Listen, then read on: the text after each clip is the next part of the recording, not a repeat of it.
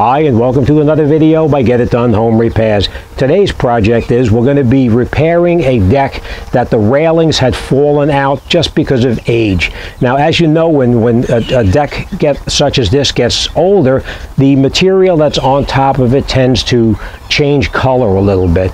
And instead of replacing it with new material, we're going to reuse the old material so that once we finish it, you'll never even be able to tell that anything was ever done to it. The problem we had is that these rails were all falling out they stapled them down through here or nailed them right through here and they, they, over a period of time they rotted away and they were falling out. Now the previous owner put screws in it big drywall screws to hold these pl in place up here which looked hideous. So we are going to do it the, the right way so first thing we did is we came in here and we took everything apart. Now I'm going to show you how I took everything apart. Obviously I already have the new stuff back in, but it's very easy to take it apart. You basically just take a tool such as this right here and you get up underneath the bottom here and you pry up very little to get the rail to pull up a little bit. Same thing on this part right on the side right here. You know what, let me show you on this one right over here and uh, you'll have an idea. What we do is we take a tool such as this, go underneath the bottom right here, tap it until it goes inside and then you just work it back and forth and you get it to pull up until the nails start to pull out. Now sometimes when these are nailed in it's very difficult to get the nails back out and if that happens instead of damaging the material that we're going to need to reuse what we do is we come in here with a tool like this. It's a reciprocating saw, or better known as a sawzall. You put the blade in underneath the bottom, right through here. You pry it up just a little bit. Put your blade in, and you can cut the nails off below so that you're not damaging the material that we need to reuse. And you can do that on the top here, and you can do it on the sides here. Now, as I told you, remember I told you they used a bunch of hideous screws to, uh, to screw it back together and these we're just going to leave them in there because if we take them out we're going to do more damage than good so those are going to stay in there all right so let me bring you in there and explain to you how I did or rebuilt this section of decking this is an example of what tools we're going to need. We're going to need, of course, a hammer. We may need a heavy pair of pliers to pull out any kind of nails that we possibly can. We may need a utility knife, but we'll see how that goes. We're going to use a bar like this here to pry off the railings.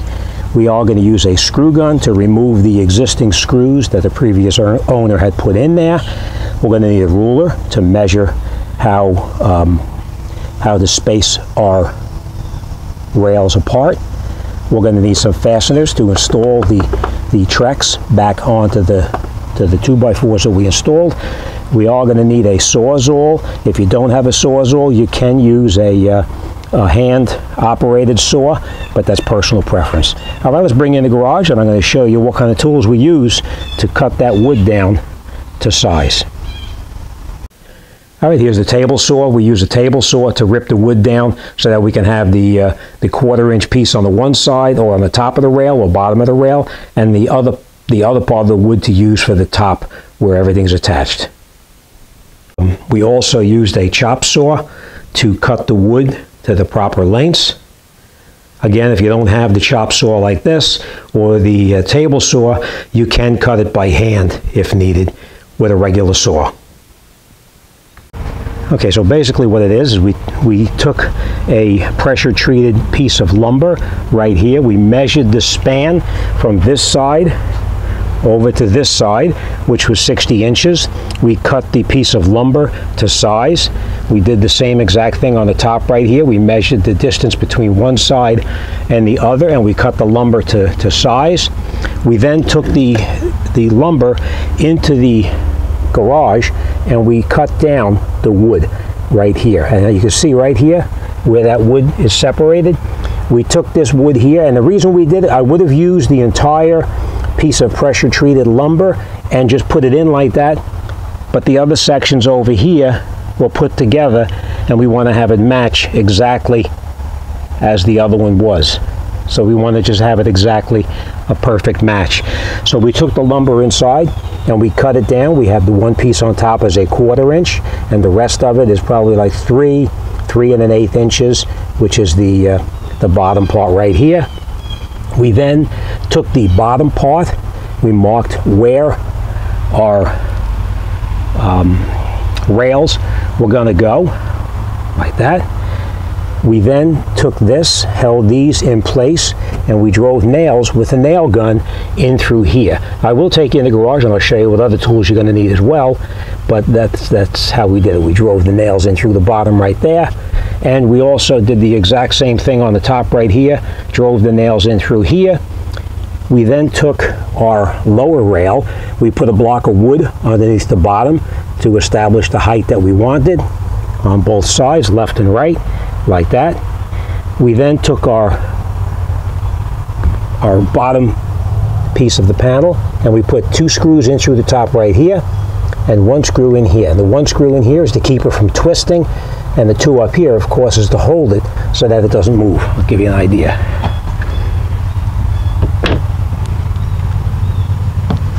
Like this. We put two screws in here we put a screw in here and it'll keep the wood from twisting out of shape. We centered it in the opening right here and of course we centered our beam on that spot as well. Same thing on this side over here, two screws here and here. But what we did first is we came down here and we installed the lower beam or the lower part right here first. Once we installed this lower part, we then built this part here on the side. We put it in here and we just left it in here and we laid our top piece like this on top of the railings that we just built. Now this piece here is still loose. We can take this out if we needed to and we attach this up here on top. Once we have this attached, we then come underneath the bottom right here. I don't know if you can see that. See, we drove a screw in here to hold the railings in place there. And right here as well. Right here. We did the exact same thing right over here as well. Right there with the screw. And now our railings are secured in place. After we took the railings and put them in place and we attached it we then took our cut blocks and we we nailed the cut blocks in place right here. And as you can see, this was where the previous owner just drove screws into it, which looked horrible. All right, we put them in like that. We used our nail gun to drive in a two inch nail to hold it in place, a finishing nail I might add.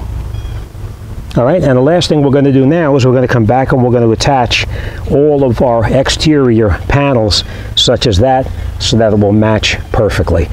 All right, so uh, all right, let's get in there and uh, let's finish this job up. Next, we'll take our top rail and we're going to make it even with the wood right up here, and then we're going to put a screw into it to hold it in position.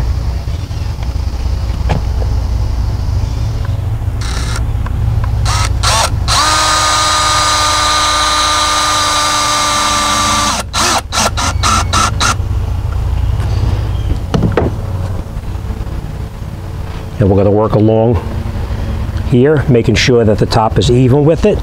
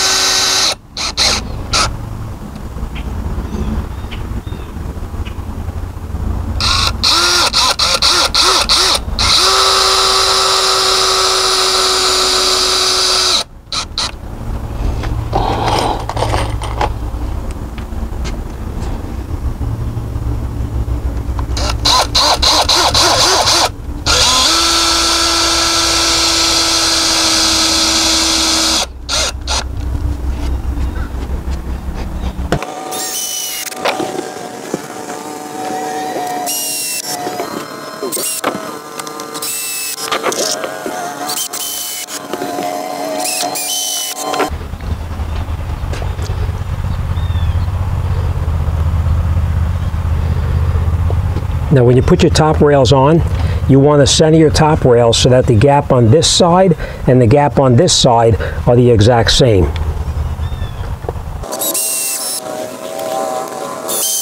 And of course when you screw it down you want to make sure that you're going directly into that beam that we have there.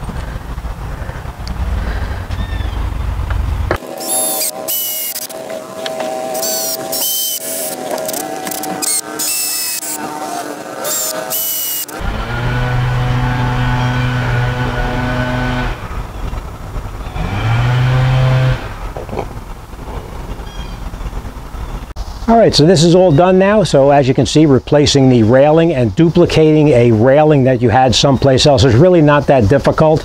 Now, if you are replacing the railings, you can, of course, make the rails whatever distance you want in between it. Check with your local building codes to make sure what the, the distance between the rails should be. But in this case, we were duplicating a section of, of railing that was on this side here, so we needed to make it exactly the same as that railing over there.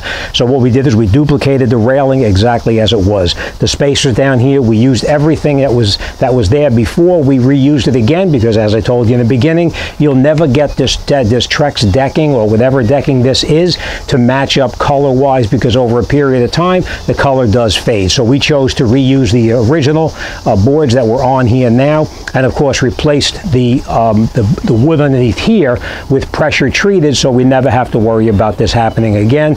Use the right wood for the right project. But that's it. This job is done and we're on to next. If you like this video and you'd like to see more of these videos, hit the subscribe button and turn on all notifications and you'll be notified of future uploads. But that's it. This project is done and we're on to the next one. All right, as always, thanks for watching. I'll see you on the next one.